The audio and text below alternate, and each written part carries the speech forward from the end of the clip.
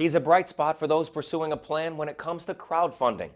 Of course, I'm talking about Mark Roderick, the crowdfunding lawyer. Here's Mark.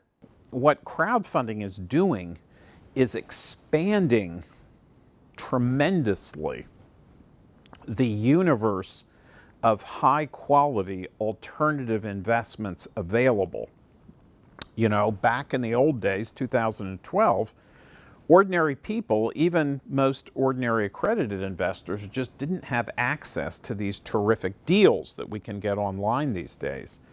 So, as more and more of those deals become available, you know, I, I actually think what's going to happen is when you go to the investment advisor with that million dollars, whereas he or she might have said, well, you should put 5% in alternative investments, I think that number is going to grow because those alternative investments are so often superior to the, you know, put 65% in equity ETFs and 20% in bond ETFs, that, that kind of thing. So it is indeed, in a very robust way today, making these alternative investments available to the much broader American public.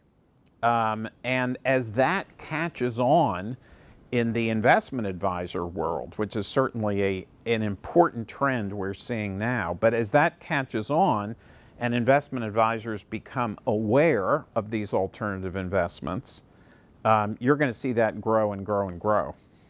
Stay tuned for Mark's contributions in our upcoming programs. Or if you like, we can set up a meeting for you for your own consultation with Mark Roderick, the crowdfunding lawyer. Drop us a line here, info at sbncrowd.com, and we'll get you set up on your own road to investment through crowdfunding. Stay with us. You're watching SBN, the Small Business Network.